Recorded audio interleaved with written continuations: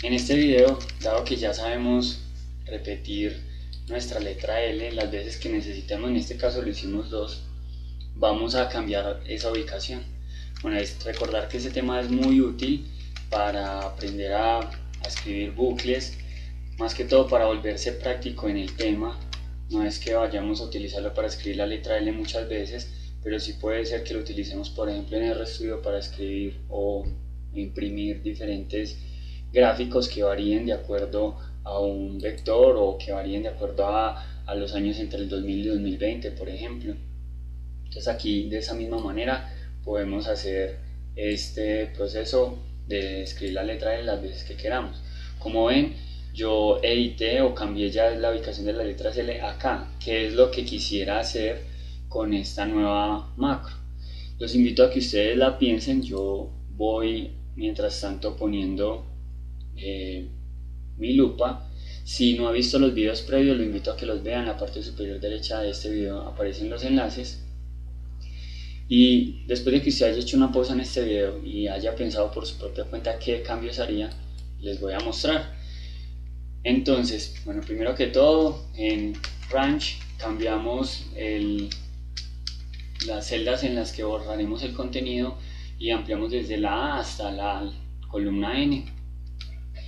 Luego entonces teníamos el ciclo de repetir, pero ¿qué, qué tenemos que editar de, de estas líneas de código para que me lo escriba en una posición diferente? Ah, pues muy sencillo. Resulta que el comando cells pues me pide una fila y me pide una columna, que es este segundo argumento. ¿Será que si yo ubico el número 10, que es la, la columna J la número 10, me bastará con eso.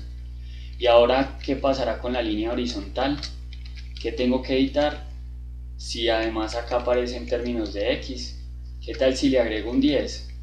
¿Qué pasará? Me lo escribirá si mi ciclo empieza en 1, me lo escribirá iniciando en J o me lo escribirá iniciando en K.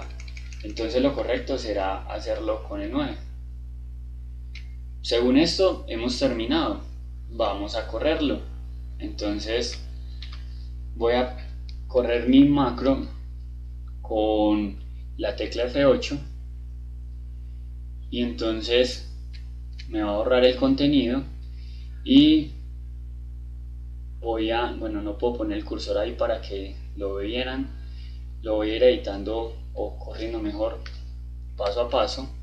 Y entonces observen cómo me va a comenzar a escribir en la, celda J1, luego en J2, J3, J4, voy a correrlo un poco más rápido con F8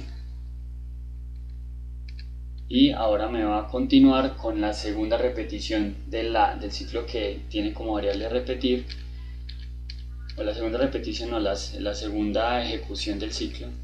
Y si le presiono F5 me lo ha escrito.